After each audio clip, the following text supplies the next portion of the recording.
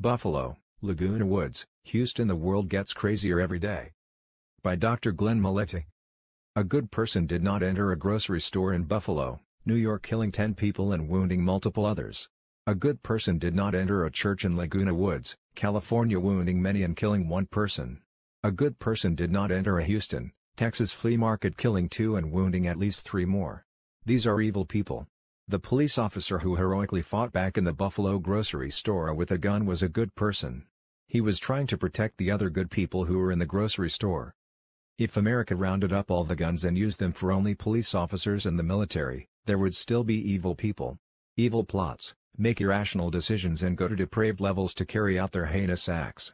What an evil person does is beyond the comprehension of everyday moral people. A mentally depraved person thinks in a sphere of unreality. They have thoughts no one else would ever think. Pathetically they put their thoughts into action. The Buffalo shooter drove hundreds of miles. He bought tactical gear and wore protective armor that enabled him to withstand the security guard's bullets and kill the security guard. Generally, people used to live their lives concerned about what God or a higher power thought about them. They were interested in pleasing God, their parents, the school teacher, coach or clergy leader. Today, insanity is bowing down to the god of social media. The deranged Buffalo shooter wore a camera so that his social media followers could see what he was doing. People often video themselves skydiving, jumping off cliffs, singing or whatever to show their followers what they are doing. The Buffalo shooter took it to another level and will most likely be mimicked by others. It's interesting that social media has the power to ban a former president but it can't control or prevent an insane live video feed of someone wanting to show others that he is killing people. Evil people will find a way to carry out their evil schemes. They will find a way to get guns or use cars, planes, trucks, fire or whatever to hurt others. The people killing people in churches and grocery stores are not deer hunters. They aren't wild turkey or rabbit hunters. They aren't the average citizens who just want a gun for their bedside table for protection. The people perpetrating these crimes are deranged.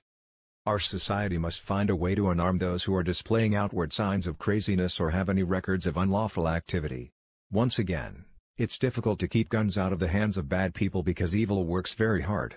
However, we must continue to try. Grocery stores, churches and most businesses will eventually have locked doors. You will need a card to unlock the door much like hotels use today. You will need your name and information registered with the business or house of worship before you'll be able to enter. Armed guards like airport security guards will check your identification when you come to the door. This still doesn't protect the families playing in a city park or those gathering in an open-air sidewalk cafe.